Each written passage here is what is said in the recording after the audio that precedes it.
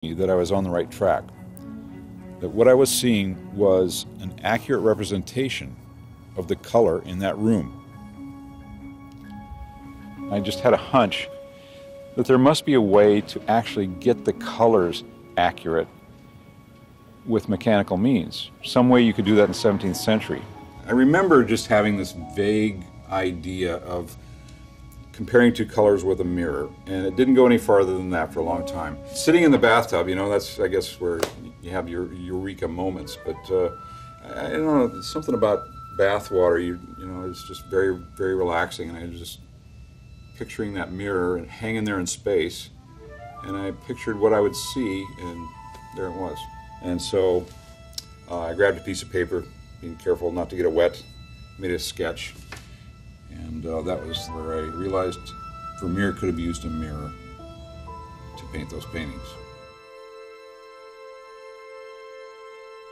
To test this, I propped up a high school photograph of my father-in-law on the table. I put a piece of masonite down here to paint on. I sent a small mirror at a 45 degree angle. And for the first time in my life, I did just what Vermeer may have done. I picked up some oil paints and a brush. In Vermeer's camera, this would be a projection. A lens is projecting this image. Um, but to show the actual mirror painting process, we're using a photograph here. You can see that there's a reflection, and then there's my, my canvas down here. And right at the edge of the mirror, I can see both things at once. I'm just going to apply paint and either darken or lighten the paint until it's the same exact color. And at that point, when it's exactly the same color, the edge of the mirror will disappear. All right, and I'm an idiot at this.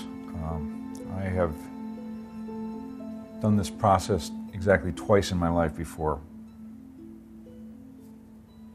What I'm doing is I'm moving my head up and down so that I can see first the original and then my canvas. I'm looking at both things at the same time. Right on the forehead, you can see that they match because you can't really see the edge of the mirror. That's, that's your clue that you've matched the paint exactly. It's not subjective, it's objective. I'm, I'm a human, a piece of human photographic film at that point. What you're doing here is you're essentially blending. Yep. I am either darkening or lightening the paint that's already on the surface.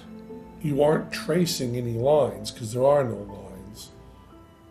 Yeah, that's a characteristic of the Vermeers that makes them unusual is that there weren't lines and there, there weren't any lines drawn underneath the paint either. It looks like there's these blobs that are emerging into a picture. It doesn't look like uh, the order you're doing stuff in is not a, it's not being done mentally. No, it's And that's what's so nutty. You know, if it. I was better at this, it may be more systematic. I, I may evolve into doing it more systematically, but no matter what I've tried, if I just spend enough time comparing the mirror to the canvas and stirring the paint around, it ends up looking like a photograph.